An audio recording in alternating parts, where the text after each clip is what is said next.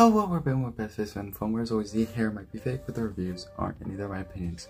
This is Project Freelancer.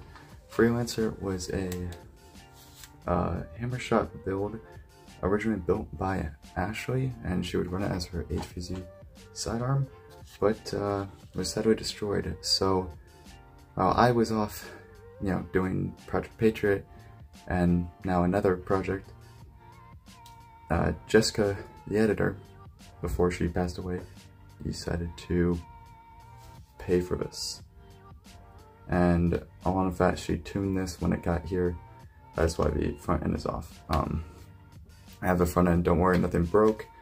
But this is a Hammershot with a um, black Rust-Oleum base, uh, metallic blue, and then some gunmetal gray, a leather paint on the grip, along with some weathering done by uh, Al. I will leave his Discord probably on screen or in the description box below if you want to contact him. Um, this Hammershot has a 8 round cylinder and on side with a uh, Gavin Fuzzy hand cannon kit. Oh wait, and on. And, oh, that's better. Gavin Fuzzy hand cannon kit. Really nice kit and it's really beautiful. Nice dry brushing on there and the 3D printed nameplate, which has been weathered here and there, and it looks really good. Um, now to the firing demo.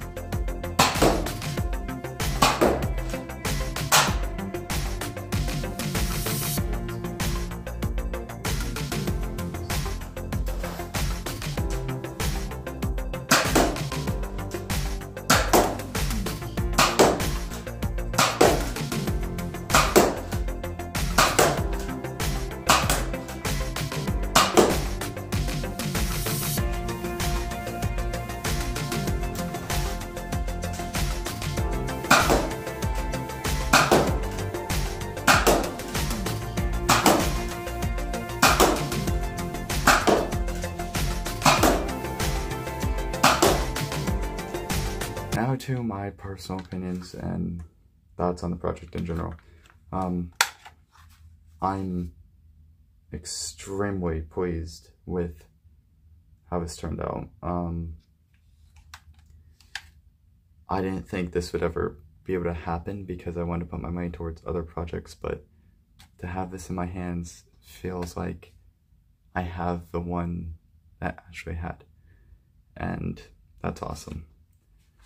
Um, so, project, in my opinion, was successful, even though I had pretty much no part in the project in the first place. Um,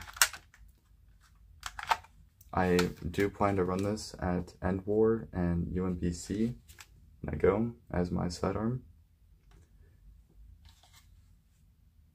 And I'm just doing this so you guys get a full look at the kit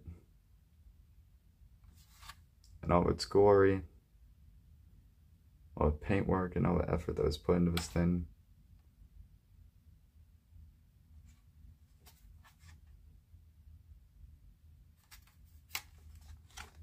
Um,